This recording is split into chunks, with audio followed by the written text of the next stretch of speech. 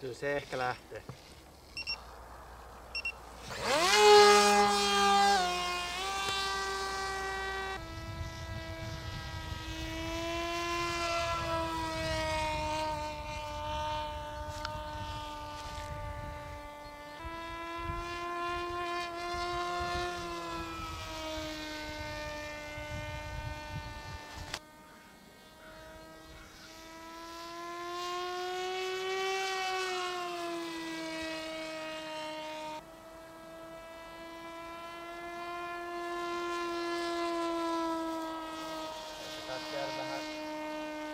Mulla on kyllä maksikaasu on ehkä...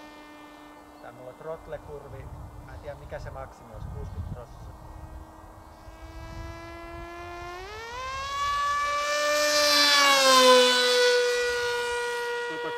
kahdeksan kilometriä tunnissa.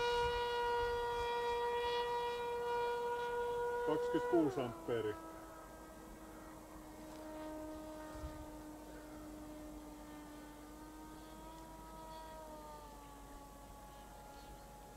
Sata metriä korkea.